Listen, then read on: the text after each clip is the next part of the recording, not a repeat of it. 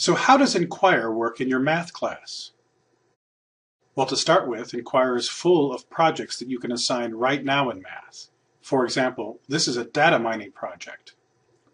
Or here's an audiovisual project on calculating monthly car payments.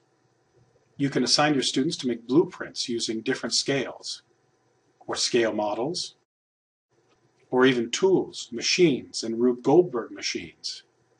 Inquire includes performing projects that work in math, such as this demonstration speech on the quadratic formula, or this roundtable of great mathematicians, or this play script.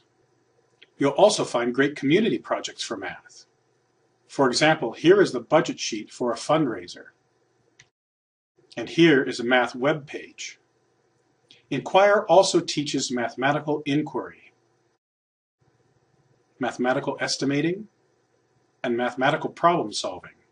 You'll even find chapters about math and money, such as developing financial literacy, or succeeding in the workplace, which helps students set up their own businesses. Every chapter in Inquire includes math mini lessons for applying that chapter in your math class. Every project chapter in Inquire includes specific suggestions for how to make those projects work in math. Elementary, middle, and high school math teachers have their own student handbooks and teacher's guides.